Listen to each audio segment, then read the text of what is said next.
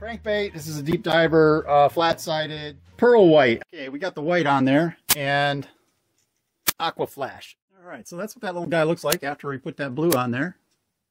Uh, bright yellow, I think that's a nice color. We could go with that.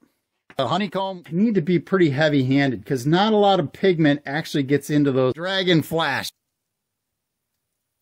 Looks pretty good to me. ah, color that I mix up, brown, pretty much a comb.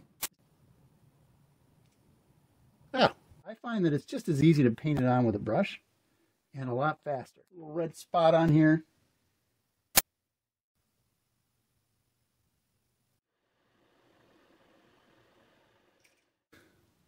But you know what?